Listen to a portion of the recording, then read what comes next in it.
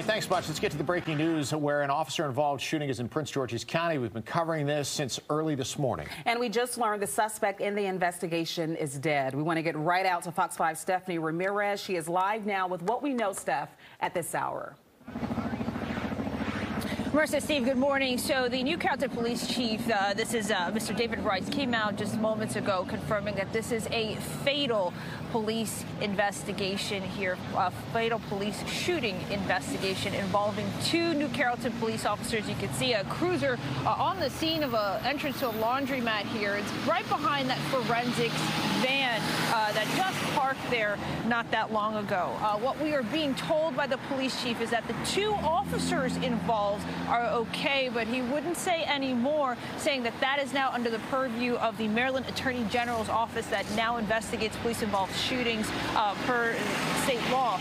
We can tell you radio calls of this incident started coming in just before 5 o'clock this morning. This is some of what we heard on the dispatch recording site Open Megahertz. Take a listen. You can have shot fire, shot fire. Individual has two guns. Copy, shot. Oh, leave the guns down. That's somebody to back the cross for 11. Miguel 20, quick, map house, Miguel 10. Start with some units here now. We're in front of this, the uh, laundromat on Annapolis Road. I copy. Eight units to back New Crossing. Signal 13.